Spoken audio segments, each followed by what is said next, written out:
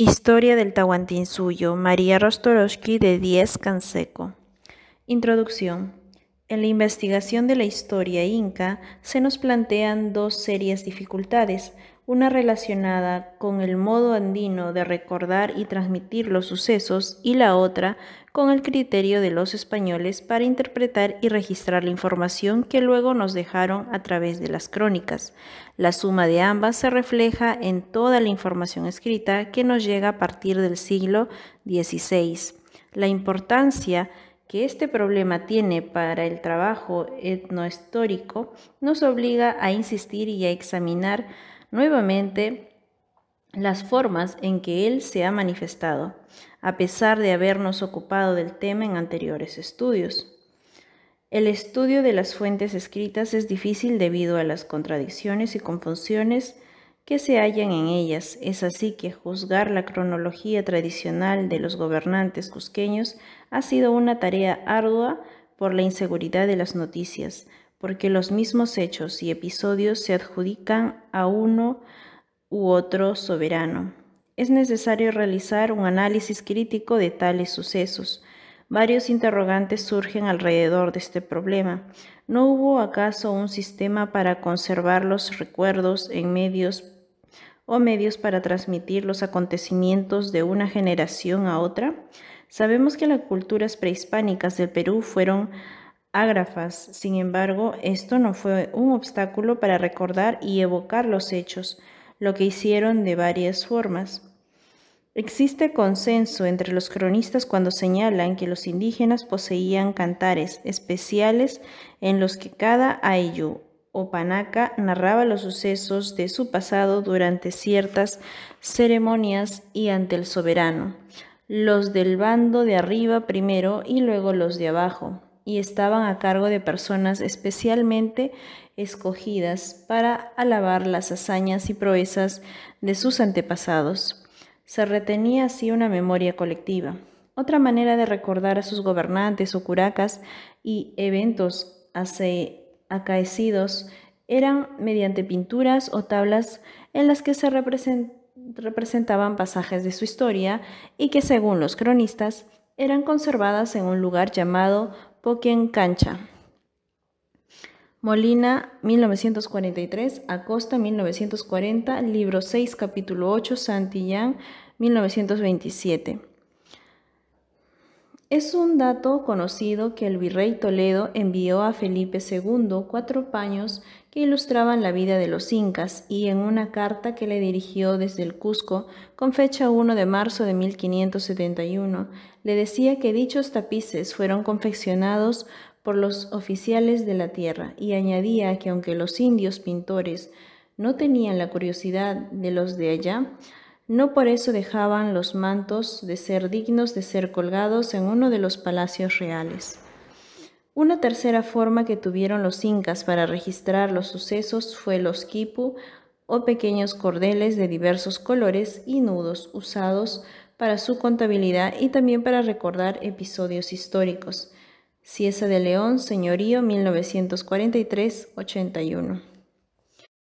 Existieron pues varios métodos para conservar en la memoria los acontecimientos, pinturas, cantares y una fuente de mnemotécnica, la falta de escritura no fue un obstáculo insalvable en el pueblo inca para guardar y rememorar su pasado. Sin embargo, no podemos dejar de preguntarnos entonces por qué tantas contradicciones en el relato incaico si poseyeron medios empíricos para recordar los hechos. ¿A qué se debe la inconsistencia del registro andino del pasado? Si bien existió una aparente confusión en la tradición indígena sobre su pasado, esto no se debió a un desconocimiento de los hechos. Las respuestas deben buscarse en la interpretación de las estructuras sociopolíticas andinas por parte de los españoles del siglo XVI. Su mentalidad impedía imaginar una sociedad con esquemas de organización y registros radicalmente distintos. Por ese motivo, vamos a examinar suscitantemente el registro andino y luego el criterio español usado para interpretarlo. El registro andino. Es obvio que los indígenas no compartían las mismas preocupaciones europeas.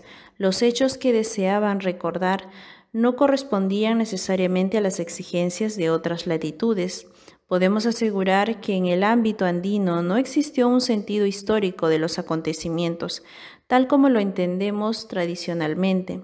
La supuesta veracidad y cronología exacta de los sucesos no era requerida ni considerada necesaria. La costumbre cusqueña de omitir intencionalmente todo episodio que molestara al nuevo señor confirma lo expuesto. En muchos casos se llegaba al extremo de ignorar a ciertos incas que habían reinado para no disgustar al inca de turno. El olvido se apoderaba de los acontecimientos y de las personas. Ciesa de León, Señorío, 1943, del 77-79. Solo los miembros de los ayllus o de los panacas afectados por dicha orden guardaban ocultas sus tradiciones. Este modo de trastocar los acontecimientos y recuerdos sumado a la falta de escritura explica las narraciones contradictorias de las crónicas y la tergiversación de los hechos motivada por la incomprensión española. A pesar de la, de la, aparente confusión, esta historia incaica no debe ser calificada como puramente mítica, tal como lo confirman muchos investigadores. Los documentos, los documentos relaciones y números testimonios en donde los indígenas afirman haber conocido y visto a los últimos incas son una prueba irrefutable de la existencia del Tahuantinsuyo. Los seres humanos, sin apoyo de la escritura, podemos recordar dos y hasta tres generaciones atrás. El criterio español. Los europeos que llegaron a estas costas en el siglo XVI tenían la preocupación de conquistar nuevas tierras y muy pocos tenían la preparación suficiente para comprender el reto que significaba el mundo andino. Para ello, la preocupación central era encontrar nuevas justificaciones para su invasión. La falta de acuciosidad se explica por su deseo de demostrar que los incas no tenían derecho sobre el territorio que habían ganado por la violencia. La mentalidad de la época y el interés por probar los derechos del rey de España sobre las provincias, incluidas en el Estado inca, hicieron muy difícil la comprensión de la realidad andina. Polo de Ondegardo, 1916, b. 47, asegura que en el registro de los incas, muy por menudo hallamos memoria de todo también cada provincia tiene sus registros de las victorias o guerras y castigos de su tierra. Sin, si importara algo, pudiéramos muy bien elegir el tiempo que había que cada una estaba pacífica debajo de la sujeción del Inca. Pero esto no importa. Para lo que se pretende, pues basta tener averiguado el tiempo que aquí empezaron su conquista. El subrayado es mío. Los cronistas frente a las incongruencias de la historia inca trataron de arreglar y de acomodar según sus criterios las diversas versiones distorsionadas, además de se encontraban demasiado imbuidos de los principios de primogenitura, bastardía y sucesiones reales, de acuerdo con los modelos europeos, para entender la costumbre andina del derecho del más hábil a la elección del cargo de Inca o de Curaca. No podían concebir los europeos el poder de las momias reales que conservan criados, derechos y tierras, tal como los poseyeron en vida. Igualmente incomprensibles resultaron las divisiones e mitades, las formas de parentesco andino, de reciprocidad y el complejo sistema de obligaciones simétricas y asimétricas. El mundo andino era demasiado original, distinto y diferente para ser comprendido por hombres venidos de ultramar, preocupados por enriquecerse, conseguir honores y evangelizar por la fuerza de los naturales. Un abismo había un abismo debía formarse entre el pensamiento andino y el criterio español, abismo que hasta la fecha continúa separado a los miembros de una misma nación. Historia del Tahuantinsuyo María Rostorowski de Díaz Canseco. Aclaraciones previas. En este libro el lector notará la omisión de la palabra imperio, con referencia al incario. Tal omisión no es casual, obedece a que dicha voz trae demasiadas connotaciones del viejo mundo. La originalidad inca se debió en primera instancia a su aislamiento de otros continentes. Sus naturales no gozaron de las ventajas de la difusión y de los préstamos culturales que permitieron el desarrollo de los pueblos de la antigüedad clásica. Sus contactos con Mesoamérica fueron indirectos y esporádicos. El mundo andino prehispánico se vio obligado a buscar su propio desenvolvimiento a encontrar la solución a sus problemas y a sus necesidades ahondando en sus raíces más profundas. El hombre de los Andes logró dominar la áspera naturaleza, uniendo esfuerzos y concibiendo métodos para superar la inclemencia del suelo. Su espíritu comunitario y organizativo le permitió vencer las desventajas y las circunstancias adversas. Este espíritu está este espíritu, este recogimiento sobre sí mismo, fomentó y dio como fruto una fuerza creadora e innovadora que le permitió encontrar la solución a sus angustiosos problemas.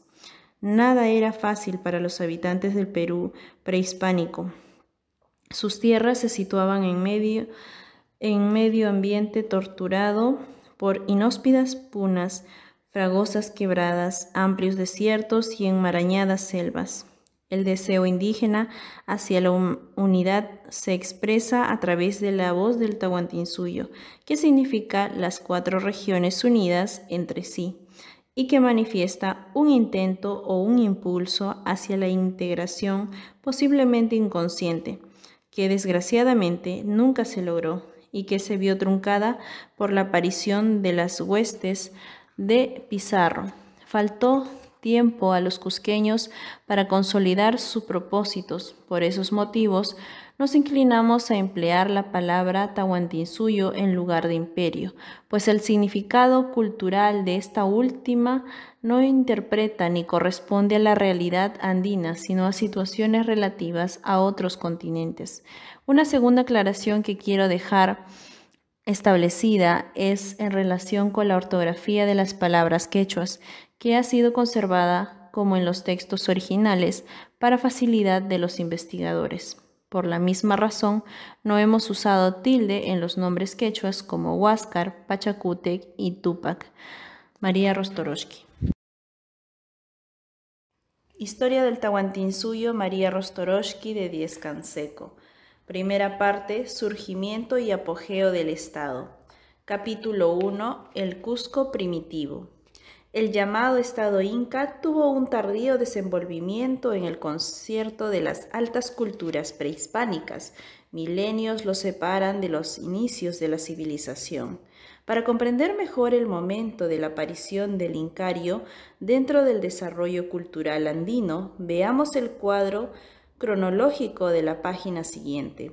Los arqueólogos indican la clasificación del surgimiento de las culturas andinas en una época lítica de recolectores y cazadores. Continúan con la introducción de la agricultura en la época arcaica. Sostienen luego que durante la época formativa se inician las sociedades y los señoríos teocráticos que se extienden en el tiempo hasta después de la era cristiana y que dan origen a los desarrollos regionales tempranos, seguidos a su vez por la última etapa llamada de los estados militaristas. Dentro de esta última, la primera hegemonía estatal fue la de Guari, que duró del siglo VII al X después de Cristo. Con fin, su fin fomentó el surgimiento de señoríos regionales, o desarrollos regionales tardíos del siglo X al XV. En esta época destacó principalmente el señorío norteño del Chimor, que comprendió un periodo de transición entre la hegemonía wari y la hegemonía inca. El auge del Estado inca arranca en los albores del siglo XV y su desarrollo quedó trunco por la aparición de la hueste hispana. John Rowe había propuesto con anterioridad a la cronología que acabamos de exponer una división andina, por horizontes con las épocas de expansión de ciertas culturas a través del territorio intercalados por periodos intermedios que corresponden a los florecimientos locales. Es así que un intermedio temprano precedió a un horizonte temprano, Chavín, seguido por un intermedio medio, Mochica, Nazca, entre otros. Continuando luego por un horizonte medio, Tiahuanaco, Guari, que a su vez dio lugar a un intermedio tardío, Chimú, Chincha, Chancay y demás, que terminó con la expansión inca u horizonte tardío. En la zona del Cusco, las etnias que ocuparon la región antes de la llegada de los grupos de Manco y los propios comienzos de los incas corresponden al intermedio tardío o a los desarrollos tardíos. Quilque es el nombre de una cerámica de baja calidad artística que predominó durante dicha época y a manera de hipótesis la identificamos como perteneciente a los grupos ayarmacas, cuyos jefes étnicos tenían por nombres genéricos Tokai Capac y Pinagua Capac. Sin embargo, los anteriores periodos arqueológicos han sido hallados en el Cusco, pero aún faltan mayores investigaciones en este campo para despejar las incógnitas. Durante el Horizonte Medio existió una ciudad situada al sur del Cusco denominada Piquillacta, centro administrativo Huari para la zona. La presencia Huari en la región debió influir en muchos aspectos del desarrollo inca, incluso en momentos organizativos y de poder. Además, posiblemente persistieron mitos y relatos de aquella época.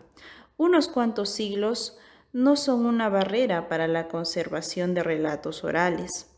La etapa primitiva del Cusco pertenece a la arqueología y no a la etnohistoria que tienen su fundamento en los manuscritos y documentos del siglo XVI. En estas cortas líneas solo hemos querido situar el alincario en el casillero temporal que le corresponde dentro de las culturas andinas, al finalizar la época denominada por los arqueólogos como Horizonte Medio o hegemonía Wari, se creó en los Andes un momento favorable para el movimiento migratorios. En aquel tiempo ningún poder central controlaba los grupos étnicos que por motivos desconocidos vagaban por el territorio. No sabemos si esos éxodos se motivaron como consecuencia de la caída del poder centralizador de los Wari, de invasiones, luchas, guerras o de desastres naturales prolongados, como por ejemplo sequías o lluvias excesivas que pudieron arrasar las quebradas andinas destruyendo a su paso pueblos y cultivos. A través de los mitos pueden percibirse la marcha a lo largo de la sierra de pueblos enteros en busca de tierras fértiles donde establecerse. Héroes culturales como Manco Cápac, Pariacaca o Tutaikiri, Ávila 1966, poseían varas mágicas y fundantes, que al hundirse en las tierras señalaban los lugares donde debían asentarse. Otros grupos, como los yacuaces, llevaban consigo un puñado de tierra, cuya semejanza con la nueva tierra debían buscar y comprobar antes de poblarla definitivamente. Las leyendas narran la presencia de una pluralidad de pequeños curacas o sinchi, simples dirigentes de ayllus de diversos orígenes, que habitaban la región del futuro Cusco. En los mitos, los primeros antepasados se habían transformado en piedras y desde su naturaleza pétrea cuidaban de sus descendientes. Este fue un concepto común a toda el área andina. Los cronistas nos han transmitido en un confuso relato los nombres de aquellos primitivos jefes cuyas hazañas se pierden en la Purumpacha, tiempo desierto y despoblado, Sarmiento de Gamboa, 1943, menciona que en esa primera época tres jefes de diferentes etnias, los Sawasirai, los Antaxayas y los Huacyas, se encontraban establecidos en el valle del futuro Cusco. Con el tiempo se sumaron unos advenedizos llamados alcabizas, copalimaitas y culumchimas, y todos juntos cohabitaban en la región. Otros antiguos moradores fueron los lares y los poques. Es difícil precisar la zona en que habitaba cada ayu o etnia, porque más tarde los incas, cuando adquirieron la supremacía sobre los demás, procedieron a una reubicación de los grupos y a una nueva repartición de tierras. Solo un curioso registro arqueológico podría quizás dar luces sobre esa temprana época.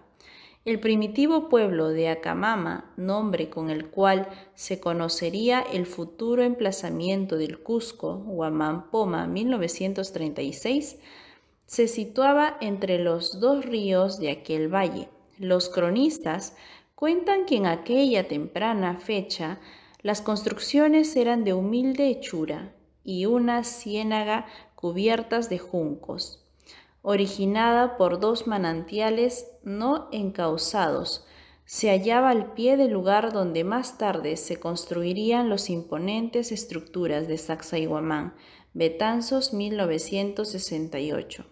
Sarmiento de Gamboa 1943 recogió de labios de los orejones cusqueños la división del espacio físico imperante, entonces se trataba de barrios con un concepto local muy pronunciado, muy distinto a las divisiones posteriores que surgieron durante el apogeo inca.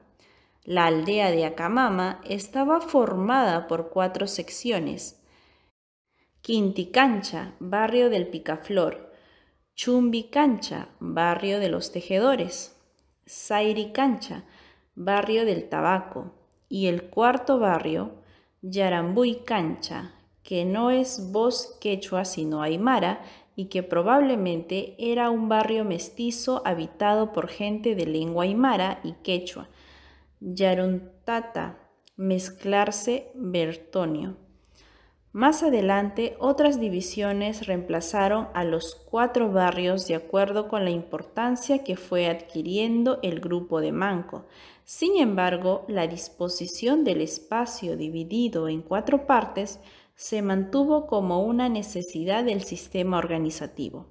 Otra modalidad andina de delimitar las áreas se basaba en los principios de oposición y de complementariedad en efecto, la oposición de las mitades, ya fuesen Hanan o Urin, es decir, arriba o abajo, o bien Icho y Ayauca, izquierda y derecha, formaban una división dual en todo el ámbito andino.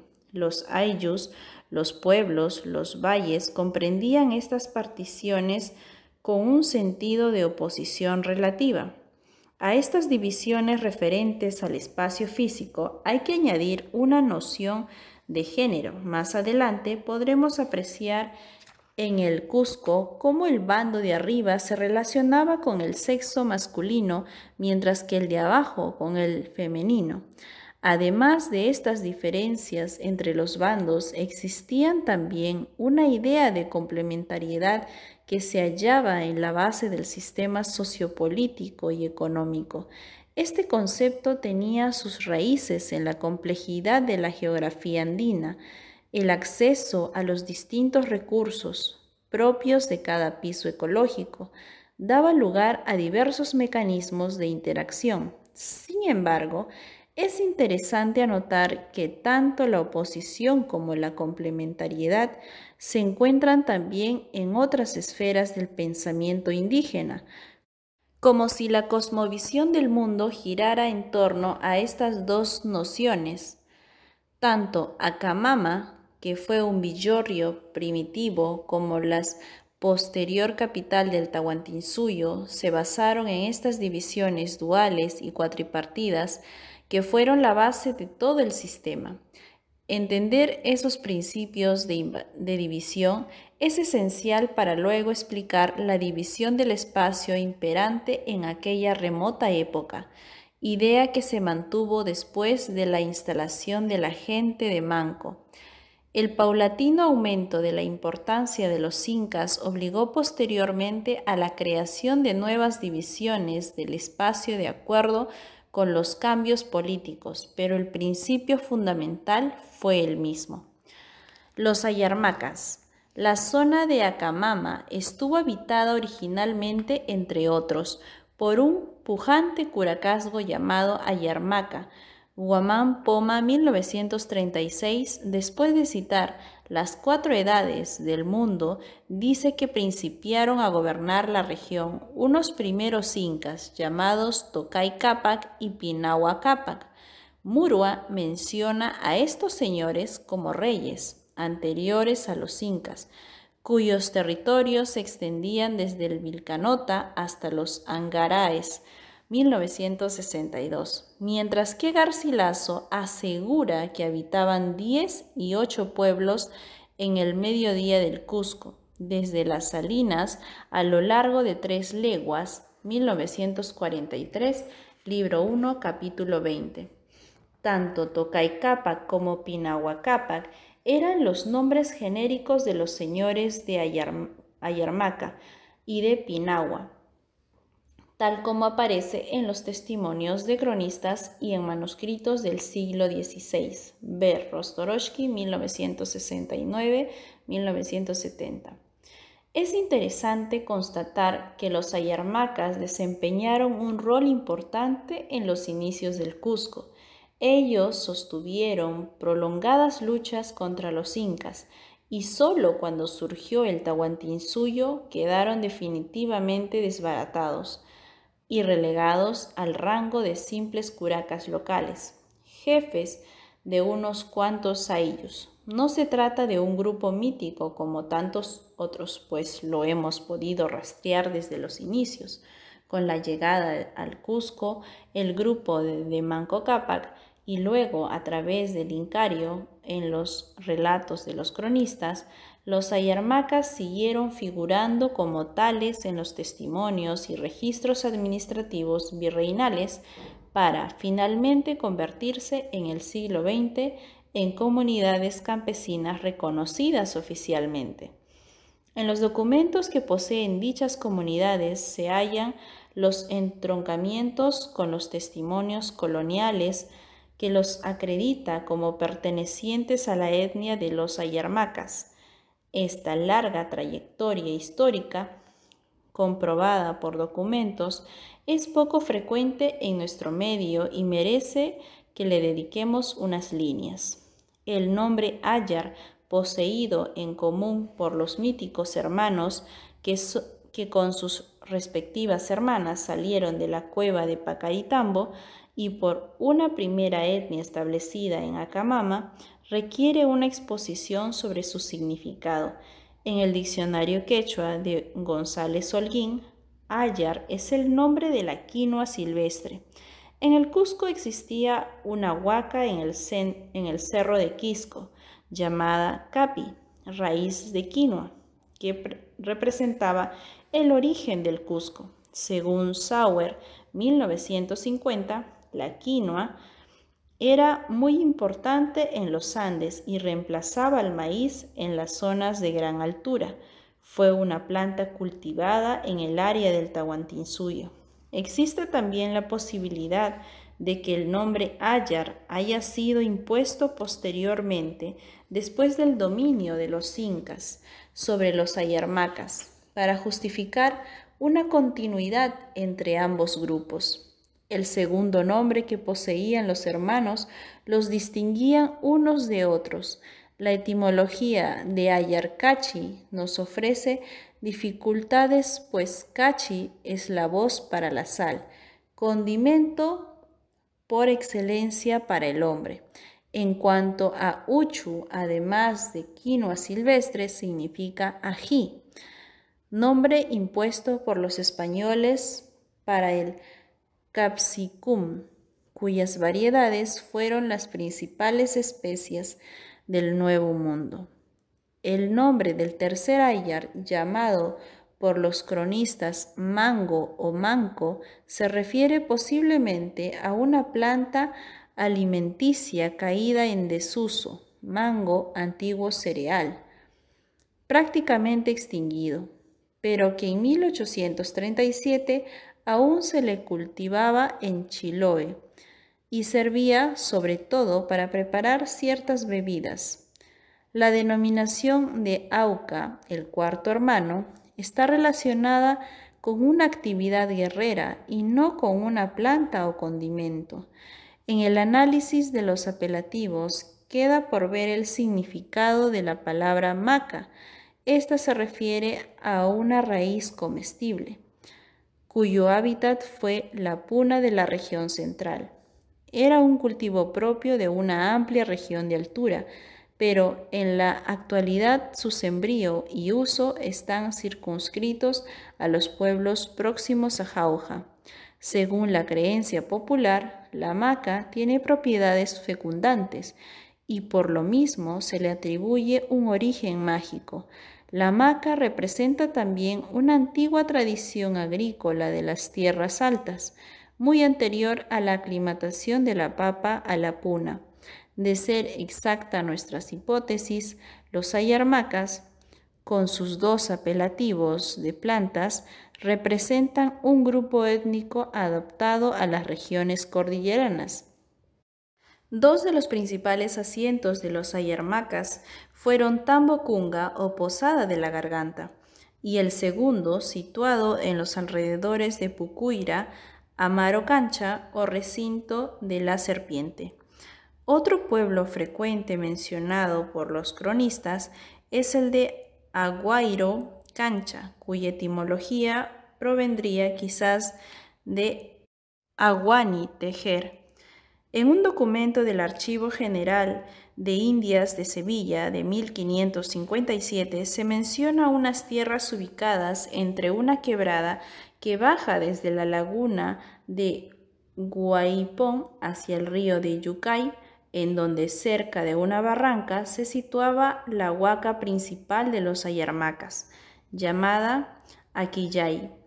En la comarca de Chinchero existía una fortaleza conocida como los Ayarmacas, la misma que hoy día se llama Andinchayok, Rostoroshki 1969. La importancia que los ayarmacas tuvieron en tiempos pasados se evidencia en el hecho de que conservaron y gozaron durante el apogeo inca de un seque propio en el sistema religioso del Cusco, aunque habían perdido todo su antiguo poderío, los incas no pudieron arrebatarles ese privilegio.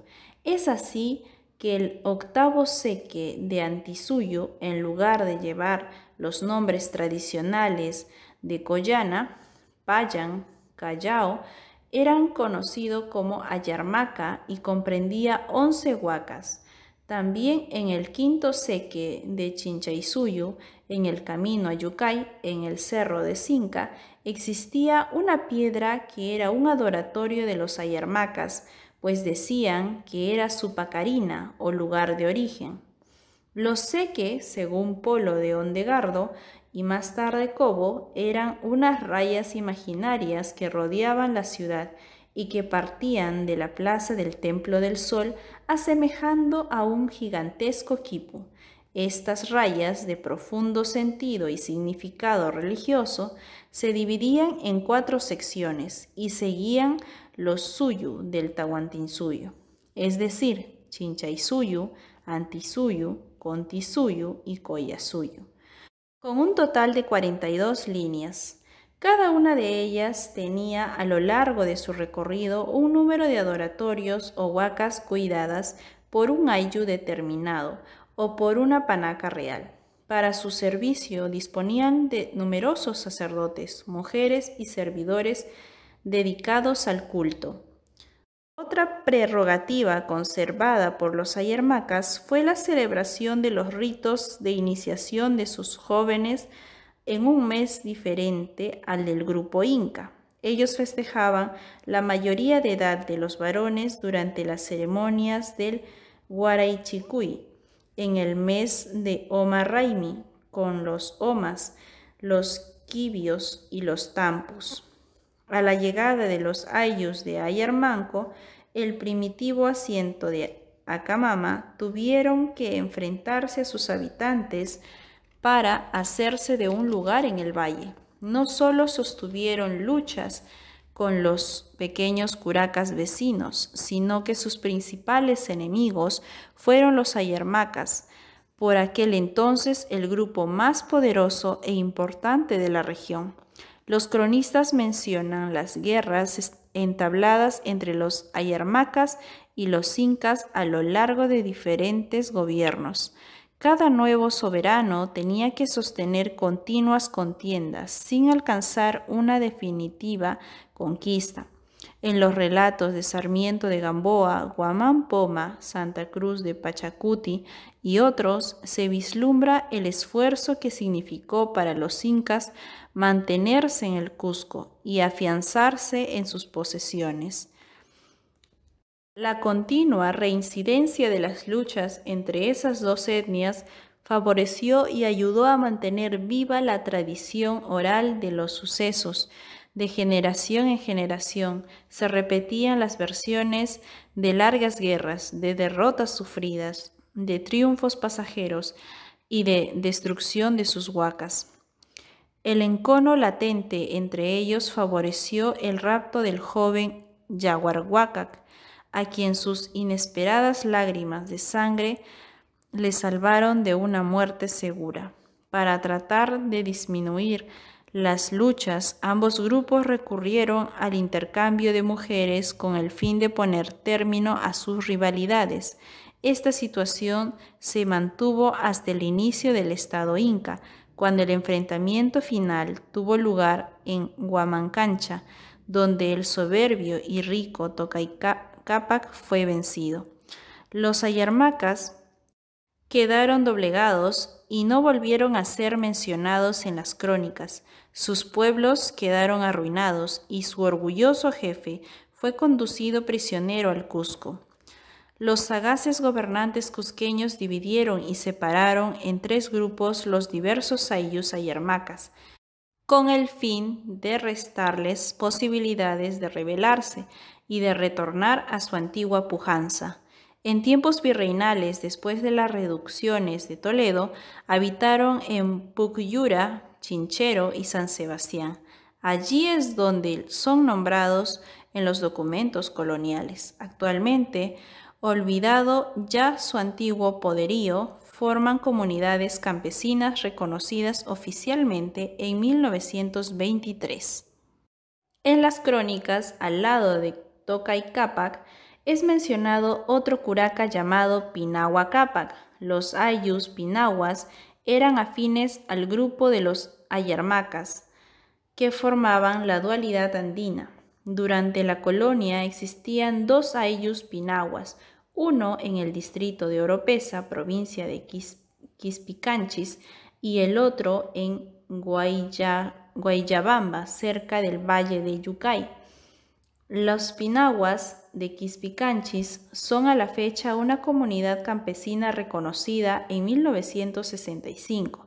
Espinosa, 1974, ha publicado unos documentos de 1539 y 1571 en los cuales se hace referencia a diversas tierras que pertenecían a los pinahuas. Sus territorios se extendían al sur de San Jerónimo, desde la angostura hasta el río Vilcanota y la laguna de Muina.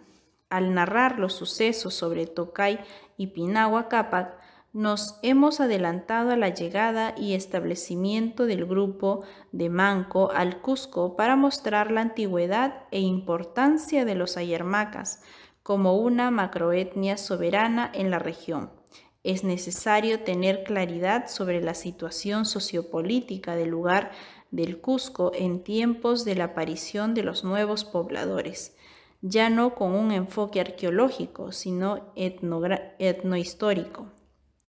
Esta versión andina de la ocupación del lugar del Cusco primitivo por grupos que llegaron y se establecieron mucho antes del arribo de los Manco está de acuerdo con los datos arqueológicos, según Rowe 1960, en la cerámica del intermedio tardío del Cusco se nota el reemplazo de una cultura por otra el autor subraya este fenómeno porque demuestra que la cultura inca tiene raíces más importantes que las tradiciones de Ayacucho, Nazca y Tiahuanaco, y no en las culturas más antiguas del valle.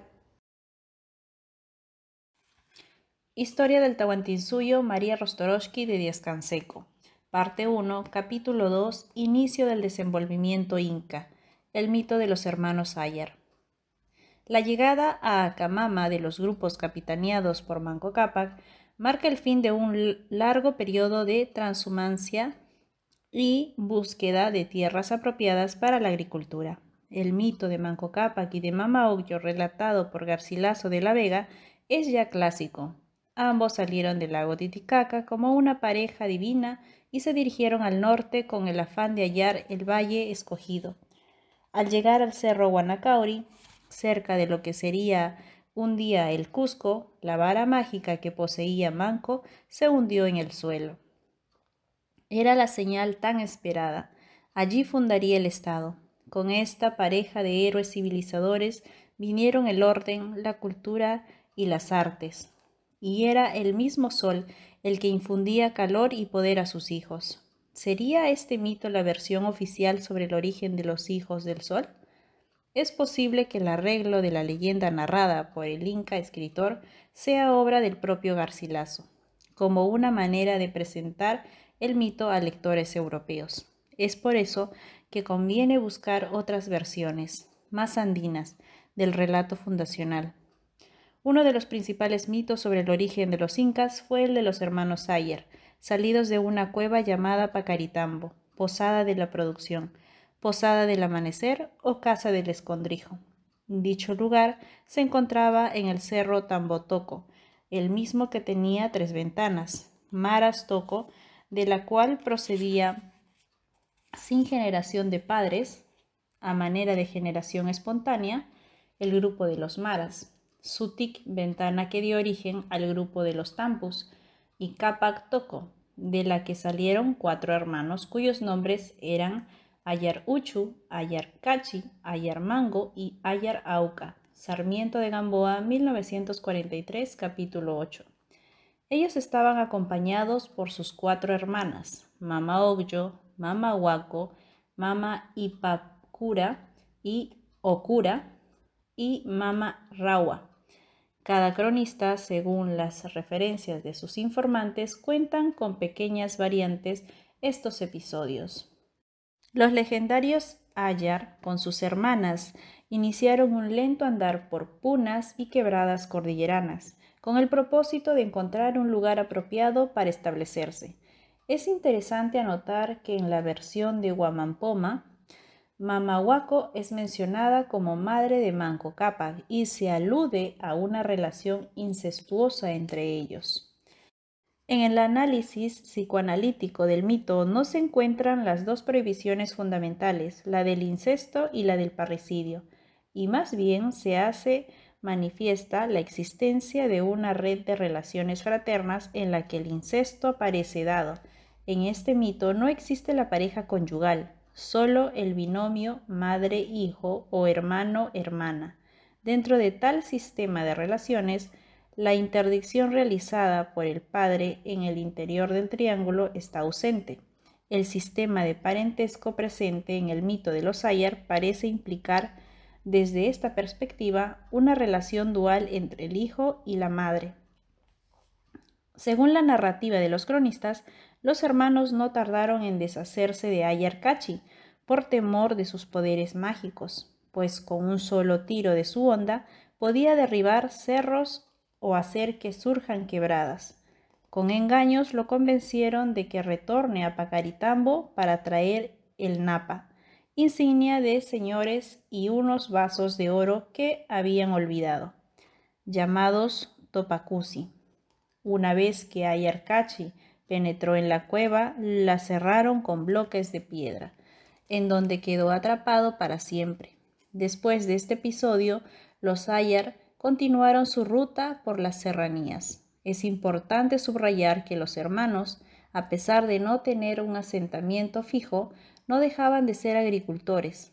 Es así que de una vez establecidos en un paraje, se quedaban en él durante algunos años y después de lograr sus cosechas emprendían de nuevo la marcha. Sarmiento de Gamboa cuenta que en su peregrinación los hermanos arribaron a un lugar llamado Guanacancha, a cuatro leguas del Cusco. Allí se quedaron un tiempo sembrando y cosechando, pero no contentos reanudaron su marcha hasta Tamboquiro, en donde pasaron unos años. Luego llegaron a Quirirmanta, al pie de un cerro. En ese lugar se celebró un consejo entre todos los hermanos, en el que decidieron que Ayar Uchu debía permanecer en dicho lugar transformando en una huaca, transformado en una huaca principal llamada Huanacauri.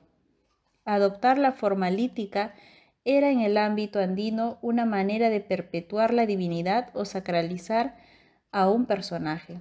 Es así que la forma pétrea asumida por Uchu no le impedía comunicarse con sus hermanos.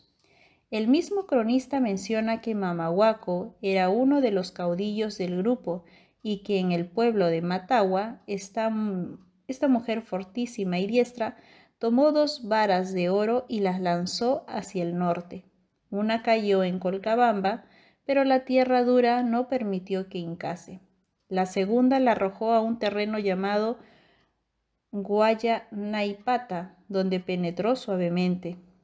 Otros informantes contaron a Sarmiento de Gamboa que fue Manco Cápac y no Mamahuaco quien arrojó el bastón mágico, que debía indicar el asentamiento definitivo. Los ayus errantes Trataron de llegar al lugar señalado, pero hallando resistencia entre los naturales, se vieron obligados a retornar a Matagua. Mientras permanecían allí, Manco Cápac ordenó a Auca ir a poblar el paraje indicado por La Habana. Cumpliendo la orden de su hermano, Auca voló hacia dicho lugar, pero al pisar el suelo se convirtió en piedra. Según las creencias andinas, las huancas o piedras eran mojones indicadores de la toma de posesión de un espacio. Es así que Auca, bajo el aspecto lítico, fue el primero en ocupar el sitio escogido, tan largamente deseado, y ordenó a Ayarmango llamarse de ahí en adelante Manco Cápac. Según Sarmiento de Gamboa, en la lengua hablada entonces, Cusco significaba ocupar un espacio de manera mágica. Para Garcilaso, Cusco era el ombligo del mundo en la lengua particular de los incas.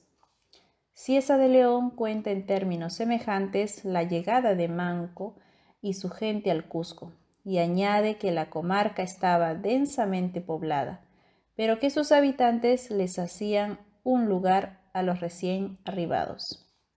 Los mitos narrados hasta aquí, referentes a la manera como fue ocupado por los incas el antiguo Cusco, son relatos totalmente distintos de la versión dada por Garcilaso.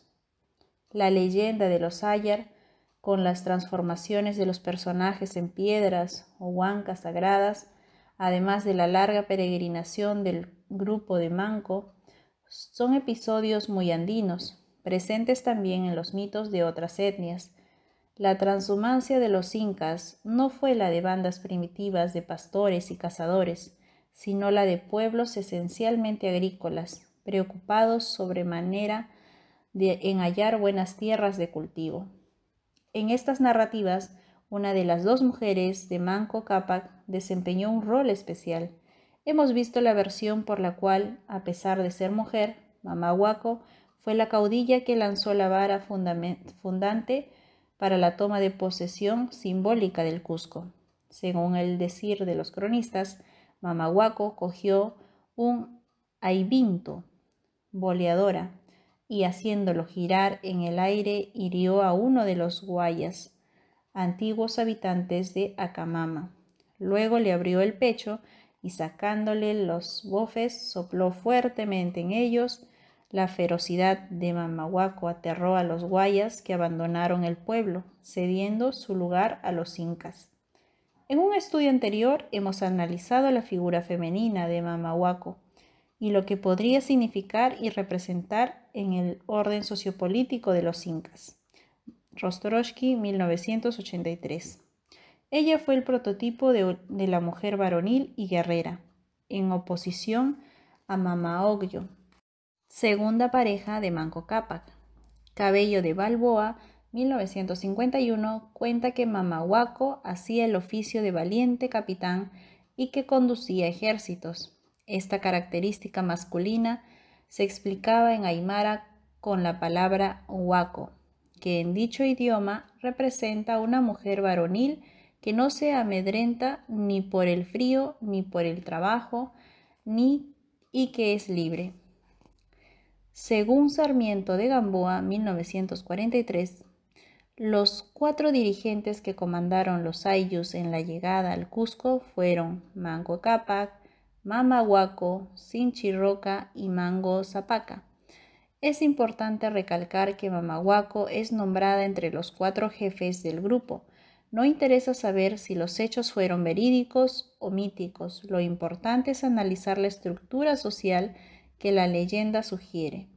En esta colla hallamos a la mujer tomando parte activa en la conquista del Cusco, luchando junto a los varones y capitaneando un ejército, lo que ilustra la situación femenina en un tiempo mítico y el nivel concedido a su posición social. En las leyendas cusqueñas su ejemplo no es el único, en la guerra contra las chancas. La curaca Cañancuri Coca era la jefa de los ayllus de Choco Cachona. En la misma leyenda se sabe, a través de los orejones, que la ayuda proporcionada por los Pururauca, piedras mágicas que eran el momento álgido de la lucha que transformaron en soldados y lograron el triunfo inca. Lo interesante del mito es la existencia de Pururauca, masculinos y femeninos o sea que el ejército de la guerra no era un oficio reservado solo a los varones. Estos mitos referentes al establecimiento de los incas son básicos porque revelan su cosmovisión y sus estructuras sociopolíticas. Manco Cápac y sus ayllus habitaron el Cusco Bajo y su morada fue el templo de Indicancha, mientras que los seguidores de Auca se afincaron e instalaron en la mitad de arriba o Hanan, la división por mitades tiene, en un contexto, un sentido de género y comprende una oposición y una complementariedad entre los bandos de Hanan y de Urin. Garcilaso de la Vega, 1943. Confirma ese criterio al decir que los hermanos mayores poblaron la parte alta, mientras que los seguidores de la reina eran hermanos segundos y poblaron Urin Cusco a través de las noticias de Garcilaso, tendríamos que los varones de Hanan eran masculinos masculinos y los de Urin masculinos femeninos. En cuanto a las mujeres, las de abajo se clasificaban como femeninas femeninas y las de arriba femeninas masculinas. Los prototipos de dichas mujeres serían la femenina femenina Mama Ogyo y la femenina masculina Mama Huaco. Ver Hernández y otros, 1987. Las panaca. De acuerdo con la información de los cronistas, una panaca se formaba con los descendientes de ambos sexos de un inca reinante y excluía al que asumía el poder. Según las mismas fuentes, la panaca tenía por obligación conservar la momia del soberano fallecido y guardar el recuerdo de su vida y hazañas a través de cantares, quipus y pinturas que se transmitían de generación en generación. En un pueblo ágrafo era sumamente importante tener organizado el mantenimiento de la tradición. Las panacas de los últimos incas fueron las más importantes y eran poseedoras desde el periodo de la expansión de grandes extensiones de tierras, aparte de, sus grandes haciendas, trabajadas por innumerables llana, contaban también con sacerdotes, augures, mujeres y servidores encargados de su cuidado y de mantener su situación social. Rostorowski 1962-1970. La momia de un inca seguía disfrutando de todos sus bienes tal como los tenía en vida y constituía una genealogía viviente que el pueblo podía admirar durante las grandes fiestas del Cusco, pues salían a la gran plaza de Aucaipata con todo lujo y rodeada de sus deudos y servidores. Esta costumbre hacía que en, el, en la capital existiese una numerosa centinela cuya vida y quehaceres giraban en torno a las momias de los difuntos soberanos, quienes a pesar de haber fallecido mantenían a través de su panaca una activa injerencia en la política. Las panaca formaban junto a los ayus custodios la élite y la aristocracia cusqueña. Es indudable que estos grupos crearon facciones y alianzas que debieron ejercer sus influencias en los diversos episodios de la historia inca. Hay que tomar en consideración el gran número de hijos de cada soberano, habidos en, las distintas mujeres. Todos los miembros de las panacas componían la corte del Inca, una corte apoyada por sus propios antepasados que actuaban a través de sus descendientes como si estuviesen aún con vida. Para comprender mejor el sentido de una panaca, es necesario hacer una corta digresión sobre el significado del término en relación con otras designaciones de linajes y grupos indígenas. Anteriormente, en otro trabajo, hemos analizado la voz parcialidad en el contexto del siglo XVI y siglo XVII y nos vimos obligados a contemplar ciertos aspectos de la palabra ayu ya que en el ámbito andino existían, según las regiones, diversas voces para referirse a ella, y no sabemos si todas tendrían la connotación comúnmente admitida. Bertonio señala el uso en aymara de la palabra ata, cuyo significado sería casta, familia, ayu, pero también semilla de las plantas, de los hombres y de los animales. No hay ninguna referencia a posesión de tierras en común, aunque podría inferirse. Fray Domingo de Santo Tomás indica en su diccionario las equivalencias del quechua costeño con el serrano y cita la palabra vilca como equivalente a ayu. Panaca contiene una idea de linaje y de familia extendida. Si bien los cronistas señalan la naturaleza patrilineal de los Panaca, Suidema, 1964, opina que el término lleva en sí otro sentido. Designa al grupo de hermanos de un hombre y tal situación no sería aplicable a relaciones endógamas y, o patrilineales, sino a grupos exógamos matrilineales. Esto explica la pertenencia del hombre al grupo de su hermana y el que sus hijos no se clasificaran con él. El mismo Suidema sugiere la posibilidad de que las panacas existiesen desde tiempo atrás y que de ellas se eligiesen al Inca reinante. Es muy posible que esté en lo cierto y como hipótesis proponemos que tanto el grupo de Ayar Mango como el de Ayar Auca usasen dicha palabra como sinónimo de Ayu mucho tiempo antes de su llegada al Cusco. Es posible que una de las diferencias entre Ayus y Panaca consistiese en que los Ayus eran patrilineales, mientras que las Panaca mantenían un sistema matrilineal. El término Panaca proviene de pana, hermana en el habla del varón o prima, hermana o segunda o de su tierra o linaje conocido. González Holguín, 1952. Dicho en otras palabras, el conjunto de gente que vagaba por el territorio en busca de tierras fértiles donde, establecerse, empleaba la palabra panaca para designar a varios de sus grupos y linajes. De acuerdo con este postulado, la voz panaca solo se empleó para los miembros de los linajes incas, mientras la palabra ayu era usada en el Cusco y en Ayacucho en tiempos anteriores a la llegada del grupo de Mango, más adelante, los españoles contribuyeron a difundir aún más la voz ayllu, aplicándola a todo el Tahuantinsuyo.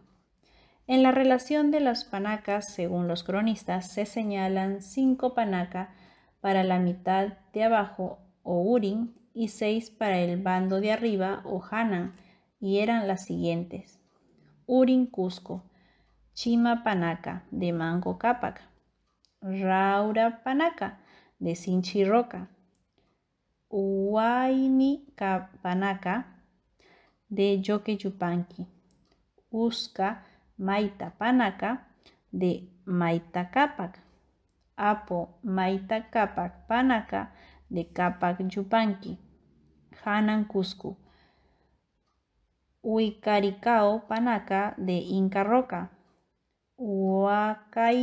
Panaca de Jaguar Huacac, Soxopanaka de Viracocha, Hatun Ayu de Pachacutec Inca Yupanqui, Capac Ayu de Tupac Yupanqui, Tumipampa Panaca de Huayna Capac. Sobre la panaca de Huayna Capac es importante aclarar que este linaje dio su nombre al centro administrativo inca edificado en el norte, en el actual Ecuador, y no viceversa como erróneamente se ha supuesto. En la probanza de Juan Sierra de Leguizamo, hijo de Mancio, y de la ñusta Beatriz Yupanqui, algunos testigos declararon que Tumipampa se llamaba antiguamente Surampayi. Ver María Rostorowski, 1983.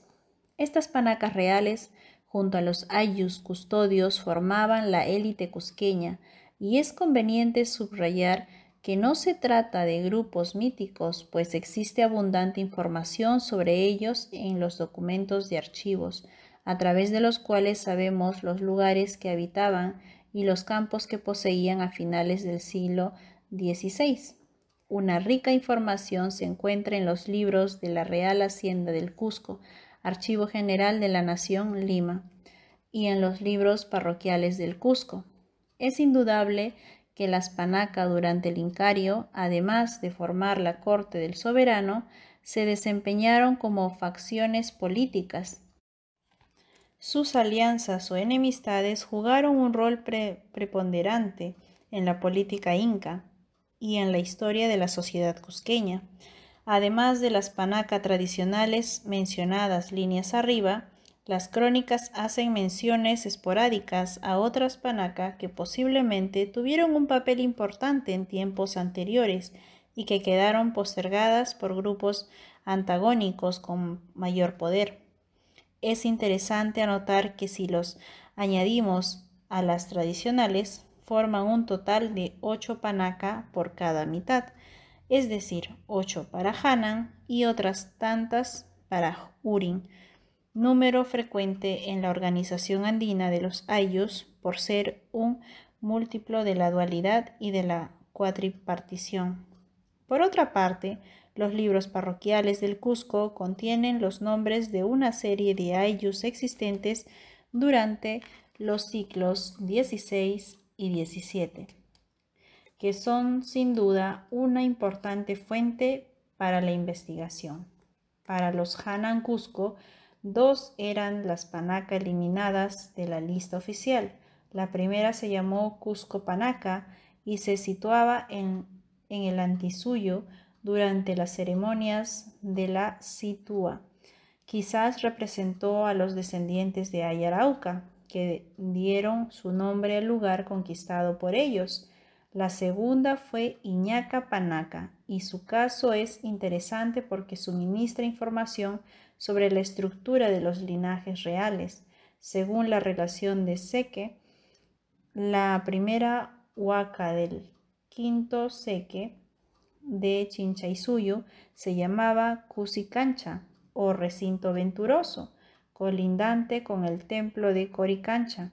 En aquel lugar nacería Inca Yupanqui, quien más adelante tomaría el nombre de Pachacútec, motivo por el cual desde entonces allí hicieron sus sacrificios los miembros del Iñaca Panaca. La afirmación de que un inca reinante no pertenecía a ninguna de las panaca oficiales nombradas en las crónicas sugiere varios hechos que es necesario considerar. Primero, esta noticia apoya nuestra hipótesis de la existencia de un mayor número de panaca antiguas. En segundo lugar, el nombre Iñaca ofrece una marcada connotación femenina, según González Holguín, 1952. Iñaca, la mantellina de la cabeza. Iñaca Ñusta, la señora de Ayllo de incas o nobles. Iñaca Iñacaya, Pacha Yikuni o Payapayaya, vestirse galán, galán, galanamente la mujer muy pintada. En Bertonio, 1956, encontramos Iñaca Belpaya, mujer que viene de casta noble de los incas. Iñaca Chacita, vestirse al modo de, de estas mujeres y hacer muy de la señora. La presencia de un ayu llamado Iñaca Panaca apoya la posición de que fuese un linaje de filiación matrilineal, de mujeres nobles, a diferencia de los ayllus patrilineales. Mayor confirmación se halla en el hecho de que Pachacútec abandonó su ayllu natal para incorporarse al Hatun Ayllu. La diferencia entre las Panaca y los Ayllus estaría justamente en poseer estructuras sociales diferentes. De ser correcto este planteamiento, cada inca nacía en una panaca y pasaba a otra cuando recibía la mascaipacha. Mudarse de linaje no significaba la creación de un nuevo grupo, sino el paso de un grupo a otro. Este hecho, además de ser una práctica particular de los linajes incas, daba una enorme importancia al ayu o panaca de la madre de un soberano. Sarmiento de Gamboa, 1943, capítulo 47. Cuenta que Pachacútec intentó fundir Iñaca Panaca con Hatun Ayllu, pero nunca se logró dicha unión, pues ambos continuaron existiendo simultáneamente en el Cusco colonial. Durante el virreinato, Iñaca Panaca pertenecía a la parroquia de San Jerónimo y en una provisión hecha en el Cusco en 1900, 1630 sobre deslindes de heredades, las tierras de Iñaca Panaca eran vecinas, por un lado de Suxu y Aucaiji Panaca y por otro lado de los campos de los Chahuín Cusco y de los Arairaca lo que demuestra que no se trataba de un ayo mítico. Entre los Urincusco, tres fueron las panacas olvidadas. Masca Panaca, nombrada por Molina, el cusqueño, como situada en el Contisuyo durante las ceremonias de la Sitúa, es posible que este grupo diera su nombre al distintivo usado por el Zapan Inca. La segunda panaca se llamó Sahuaceray Panaca, y Sarmiento de Gamboa la menciona como asentada en el Cusco mucho antes del arribo de los linajes de Manco al valle. Quizás se trató de una primera oleada de invasores que se adelantó al grueso del grupo. En las informaciones de Toledo, algunos naturales afirmaron que los Sarauceray salieron de Sutictoco, a diferencia de Mango, que pertenecían a Capactoco. La tercera panaca era la de Yauri, que también es mencionada por Molina durante las fiestas de la Sitúa en el Contisuyo.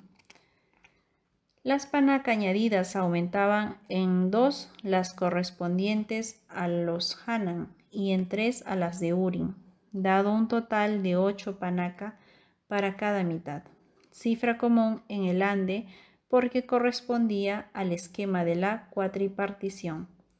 En el surgimiento del Estado, las panacas de los soberanos creadores de la hegemonía surgieron como las más poderosas y ricas, pues en ellas se inició la posesión de grandes tierras propias y de servidores en gran escala. Si bien al principio ellas contribuyeron eficazmente al desarrollo del Tahuantinsuyo, a medida que transcurría el tiempo sus numerosos miembros principiaron a crear problemas a los soberanos reinantes.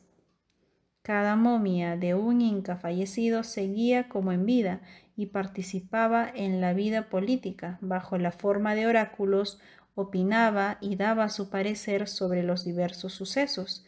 Las dificultades surgieron a la muerte de Huayno Cápac, con la elección de Huáscar y continuaron durante todo su gobierno hasta que la panaca que apoyaba a Atahualpa logró triunfar.